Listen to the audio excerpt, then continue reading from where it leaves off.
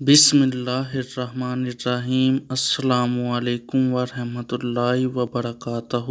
رسول اللہ صلی اللہ علیہ وآلہ وسلم نے فرمایا، اذان اور اقامت کے درمیان مانگی جانے والی دعا لٹائی نہیں جاتی یعنی قبول ہو جاتی ہے۔ لوگوں نے پوچھا، اس دوران ہم کون سی دعا مانگا کریں؟